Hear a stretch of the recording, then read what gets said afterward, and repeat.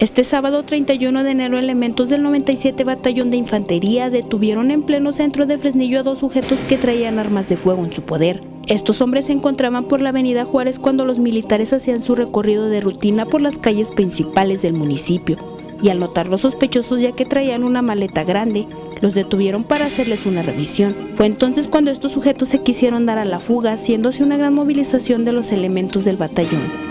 Al abrir la maleta que llevaban estos hombres se les encontraron armas de fuego.